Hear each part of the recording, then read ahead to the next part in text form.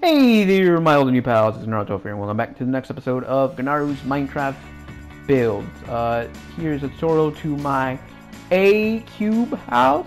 Uh, the palette for this is black concrete, white concrete, oak planks, oak doors, oak slabs, white stained glass, and one stained glass panes. I also use granite, polished granite, uh, uh, oak stairs, and nether rack stairs?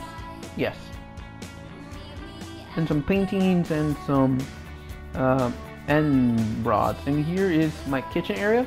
Over there is a glass. You can see my bee house, which will be reviewed in the next episode.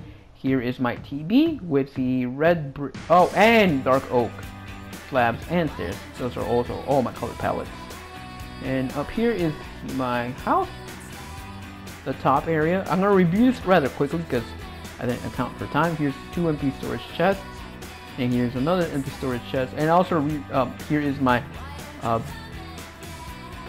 furnace crafting table. And before that, we saw my cauldron and my brewing stand. Here's my bed. Uh, here's my enchanting area.